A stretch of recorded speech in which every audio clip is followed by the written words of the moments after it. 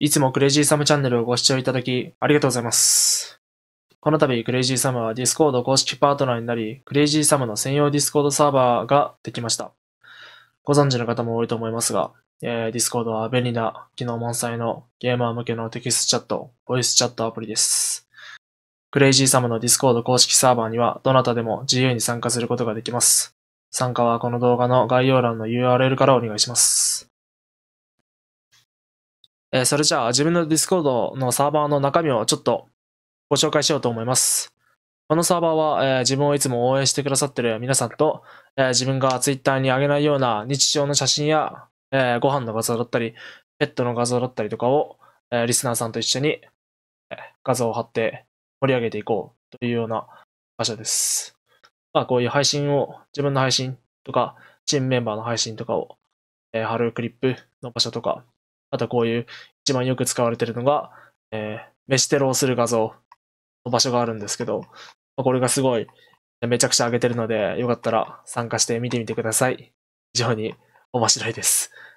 で、えーまあ、アニメとか映画を紹介するページとかも、あとはそのペットの画像ですね。えー自分で飼ってるペットの画像を上げて、みんなで盛り上がっていくっていうようなチャンネルが主になります。